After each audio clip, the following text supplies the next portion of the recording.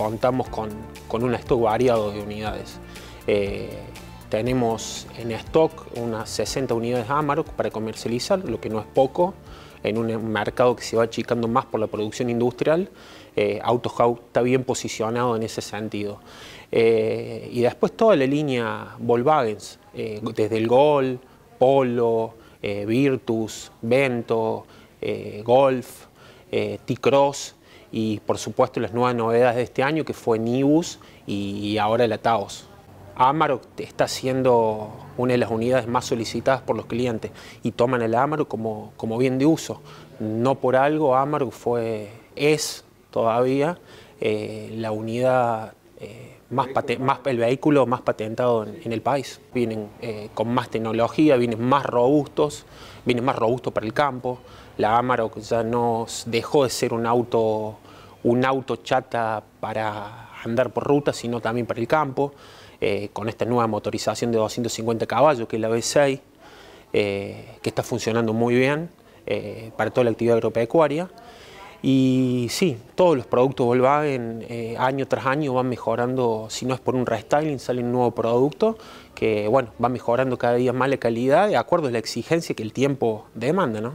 Lo principal es que hoy tenemos tres tipos de motores, 140 caballos, que es eh, eh, la, la Trendline de 140 caballos, que viene en versión 4x2 y 4x4, y ya después vienen los motores 180, que hay una gran variedad, Comfortline y Highland que es tope de gama del producto Amarok.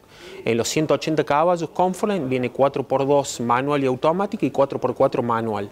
Y en Highland viene 4x2 automática, 4x2 manual, 4x4 manual y 4x4 automática. Y después las motorizaciones eh, que han sido un boom en el mercado, que son las de 258 caballos, viene Comfortline V6 de 250 caballos, siempre hablando, eh, las V6 son siempre hablando 4x4, caja automática. La Comfortline, como te decía, la Highland, la versión Actrim y la versión limitada que es la Black Style tenés mercado para los motores 140, tenés mercado para los 180, pero sí obviamente la tracción eh, para el productor agropecuario fue el motor ese de potente de 258 caballos.